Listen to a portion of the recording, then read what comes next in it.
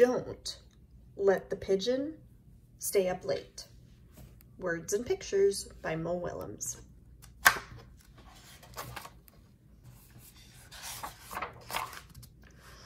Oh, good, it's you. Listen, it's getting late and I need to brush my teeth. Can you do me a favor? Don't let the pigeon stay up late. Thanks. First of all, I'm not even tired. In fact, I'm in the mood for a hot dog party. What did you say?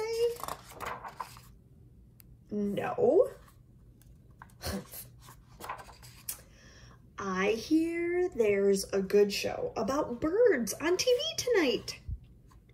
Should be very educational. How about five more minutes? Come on. What's five minutes in the grand scheme of things?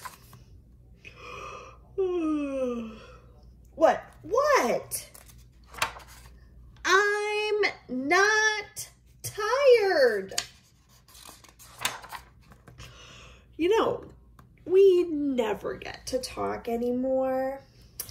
Tell me about your day. Oh, I've got a great idea. We could count the stars.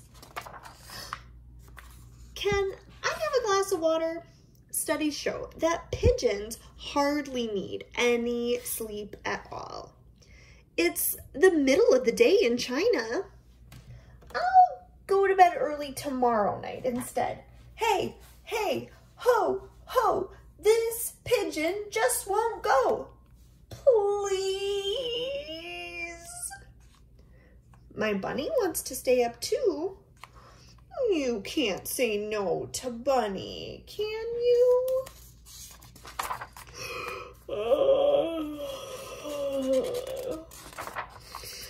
Okay, that was not a yawn. I was stretching. I'm 110% awake. You haven't heard the uh, last of me.